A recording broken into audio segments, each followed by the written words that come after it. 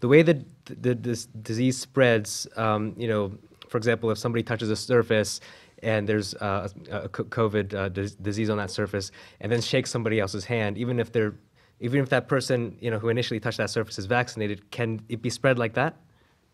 So the main way this va- this um, vaccine is this disease is spread is airborne. It can go by surfaces.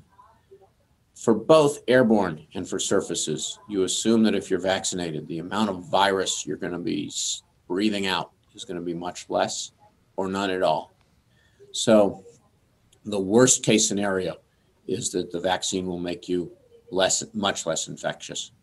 The best case scenario is it makes you non-infectious, both for breathing and both for um, both for um, touching surfaces and getting it on your hands. Thanks for joining us every Friday at noon for Community Conversations with Mayor Papenfuse, where we bring you the latest news and updates from right here in the city.